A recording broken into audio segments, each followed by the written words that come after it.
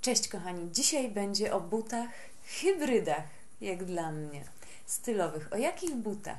O butach Moonboot. Moonboot nam się zazwyczaj kojarzą z tym takim pierwszym klasycznym modelem, które e, to buty powstały właśnie w latach 70., dokładnie w roku 70.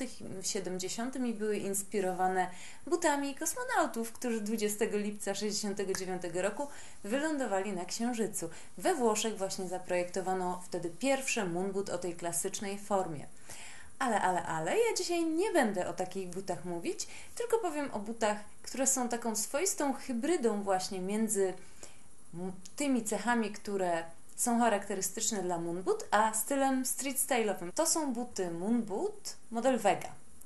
I one są takie trochę, prawda, sneakersowe powiedziałabym, takie sneakersy na zimę, ale właśnie łączą te cechy też śniegowców, e, tych typowych Moonboot i dlatego je wybrałam, dlatego byłam ich bardzo ciekawa, bo generalnie dla mnie e, takie sneakersy na zimę zawsze kojarzą mi się z tym, że może być w nich za zimno, ale skoro to są moon boot, to stwierdziłam, że przetestuję je po prostu w odpowiedniej temperaturze.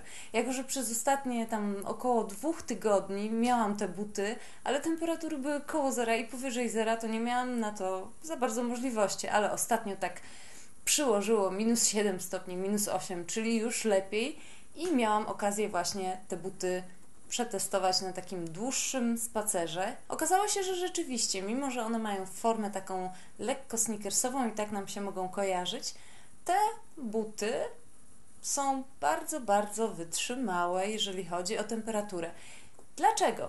Dlatego, że w środku są całe obłożone, obłożone, wypełnione pianką poliuretanową. Pianka, poli, poli, puf, pianka poliuretanowa to jest taka pianka, takie tworzywo, e, które jest polimerem. I generalnie nie będę się zagłębiać tutaj w chemiczne rzeczy, bo tak jakby nie ma takiej potrzeby. Tak tylko powiedziałam, żeby było fajnie. Ale chodzi o to, że taka pianka poliuretanowa wytrzymuje do minus kilkudziesięciu stopni Celsjusza. Na przykład używana jest do ociepleń budynków. Oczywiście przypuszczam, że ta w butach Moonboot nie wytrzyma nam minus 60 czy minus 50 stopni. E, generalnie, no, nie mamy takich temperatur na szczęście, żeby się przekonać, ale jest, jeżeli chodzi właśnie o niskie temperatury, bardzo, bardzo fajna. Także to są sneakersy zimowe, które właśnie łączą te cechy butów zimowych, śniegowców, tak na dobrą sprawę, i takiego chillowego, fajnego miejskiego stylu. Kolejna rzecz, podeszwa. Podeszwa jest wykonana z grubej gumy i ona rzeczywiście ma taką grubość, jak tutaj widzicie. Tak, to jest ta podeszwa. E, I jest podeszwą antypoślizgową.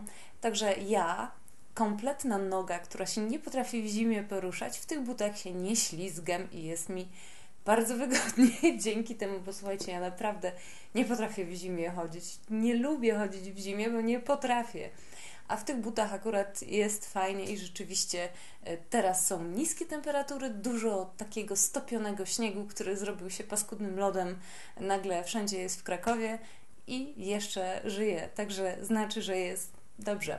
Wkładka. Mamy tutaj tą grubą podeszwę i jeszcze na dodatek właśnie taką podniesioną wkładkę. Ona fajnie, uwaga, słowo klucz love, amortyzuje to raz.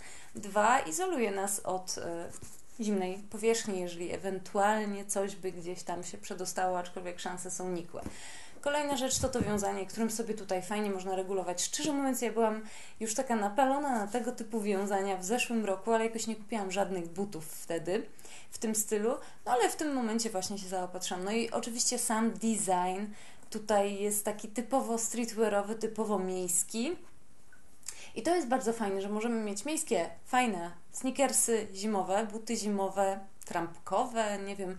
Teraz generalnie ta nomenklatura jest bardzo rozbudowana, obuwnicza i szczerze mówiąc to można się w niej pogubić, ale ja nazywam po prostu je takimi sneakersami zimowymi, hybrydami, o, trochę.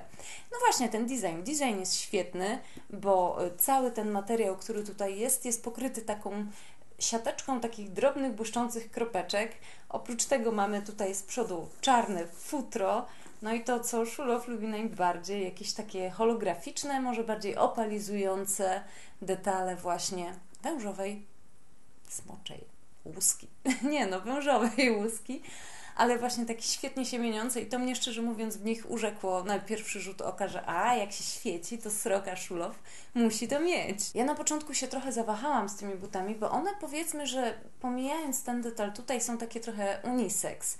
Mogą być, mm, nie, nie są tak po tej kobiecej stronie, nie mówię, że jestem ultra kobieca jakaś, czy tylko takie buty noszę, bo wiecie, że nie, ale w takich stylach cięższych czuję się jakoś tak bardziej twardzielem takim e, i dlatego się zawahałam, ale zaczęłam je zestawiać z różnymi rzeczami, to się okazuje, że one świetnie budują zimowy outfit.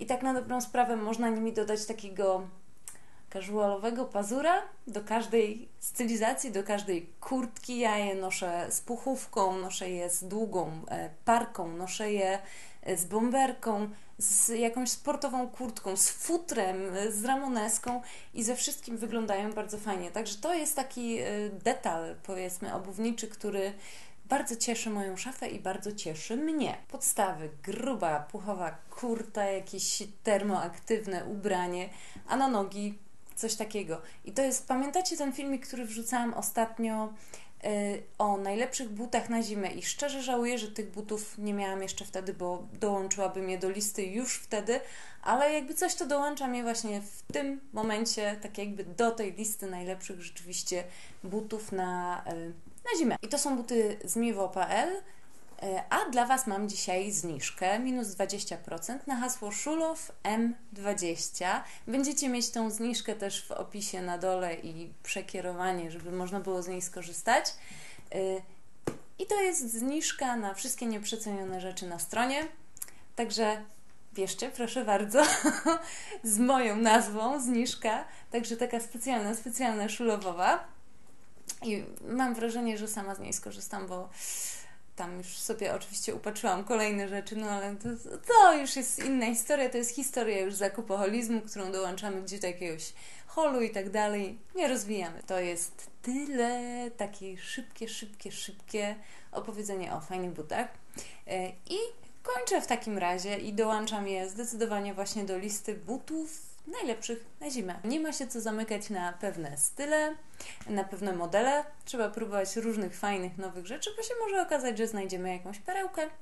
To jest to, co ja zawsze cisnę i zawsze sama się na tym łapię, że mi jest się czasem trudno przełamać samej. Po prostu. Dobra, kończę. Pa, cześć.